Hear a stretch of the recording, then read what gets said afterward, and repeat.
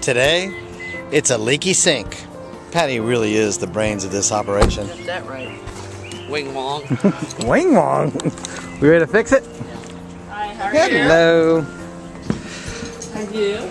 Good. What kind of problem do we have today? Um, this is you didn't like that, did you? What do you see? So you think we have a leak from the basket? Yeah. Should be an easy fix. What you do is you just go to the hardware store and tell them you want a sink basket and a wrench. Okay. And you can fix it yourself. Now that's the kind of tenants I like. Like a big red handle? What do you think it is? What makes you think it's the basket? Because it's dripping around the basket?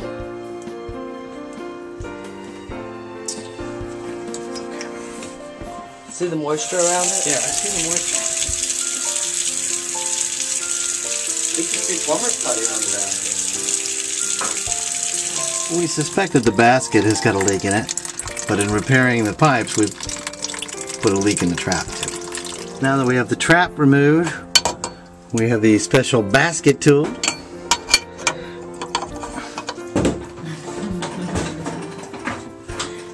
Hello. say hi, baby. Say hi, What's her name? Bailey.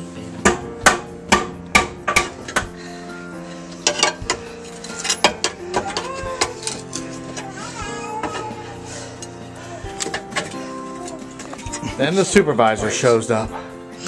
You the supervisor on this job? All right, the basket has been totally destroyed and removed. We now can see daylight where we shouldn't see daylight. The new basket goes into here, but not until the plumber's putty goes around there. Well, a trip to Sears, a trip to Klingenberg, and a trip to Lowe's for an extra deep basket. But I think we're in business. In business. Hidden it. Takes a trained pair of fingers and thumb to properly meld the plumber's dope to the new strainer. Alrighty, the basket's in place and the channel locks snug it up. Everything's fitting nicely.